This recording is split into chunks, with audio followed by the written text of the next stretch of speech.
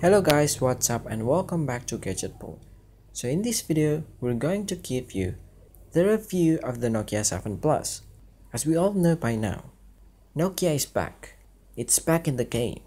Nokia was considered as the king of the mobile phones and they ruled for almost a decade till the mobile phone market was finally being invaded by other tech brands. In 2017, Nokia, now owned by HMD, came in with a bang. They launched as many as six handsets to stay strong in the market and give the competition a run for their money. And here we have the Nokia 7 Plus to see how this one fares against its rival in the similar segment. In terms of design language, the Nokia 7 Plus essentially looks like a more refined version of its older siblings.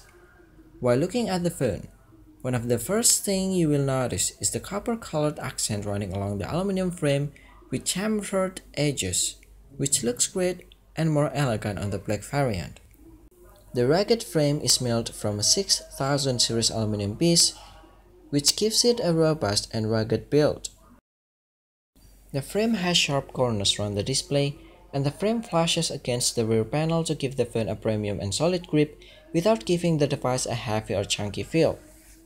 The matte finish looks good, and the handset doesn't pick up fingerprints as much. However, we recommend you to get a case for the device to ensure it is kept clean and safe. The Nokia 7 Plus flaunts a 6-inch IPS LCD Full HD Plus display with a 2160 by 1080 pixel resolution and an aspect ratio of 18 by 9. As for the display, the device has great viewing angles with bright and vibrant colors. Color temperature looks accurate with a decent amount of brightness levels. The front is an all-glass affair covered by Gorilla Glass 3 which ensures a degree of protection against scratches. The dual rear cameras are placed in a chrome housing and protrudes outward a little. However, it does make the camera glass prone to scratches when placed on a flat surface. The fingerprint sensor on the rear panel also sports copper highlights. The dual rear cameras are placed in a chrome housing and protrudes outward a little. However, it does make the camera glass prone to scratches when placed on a flat surface. The fingerprint sensor on the rear panel also sports copper highlights. A speaker grill and USB Type-C port occupy the bottom edge, while a 3.5mm headphone jack resides on the top. All in all, the Nokia 7 should withstand the rigors of everyday use. It is definitely one of the best looking and best built phone under $400. The Nokia 7 Plus packs in the latest Qualcomm Snapdragon 660 mid-range chipset.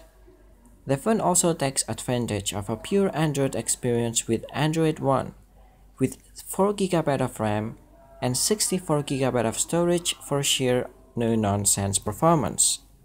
UI and app performance is speedy and we didn't experience any slowdowns or stutters. The processor is powerful enough to deliver a smooth, high-intense graphics gaming experience without choppy frame rates. Games such as PUBG Mobile, Need for Speed No Limits, and a few others played with ease at moderate settings. However, the phone does heat up quite a bit, but not alarmingly hot. Adding to the quick experience, the fingerprint sensor is also quick to unlock the phone. Multitasking is also a breeze and the processor with 4GB of RAM makes sure one can use multiple apps without any issues. Moving ahead, software is where the Nokia 7 Plus outshines. The company continues to follow its primary pitch focused on pure and up-to-date Android. The 7 Plus offers its users snappy and stock Android experience with absolutely no bloatware. With Android Oreo out of the box, Nokia promises regular and timely Android updates. Besides, the Nokia 7 Plus also offers some nifty features stored under its sleeves. There are a few gestures which we found to be useful. One can use the fingerprint scanner to pull down the notification bar by just sweeping down the finger. One can quickly launch the camera by double pressing the power button.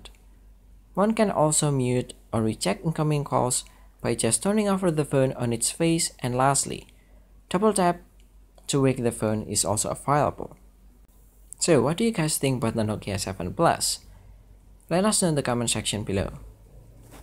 Give us a like if you enjoyed the video and subscribe to our channel for more info and update. Thank you for watching and see you next time.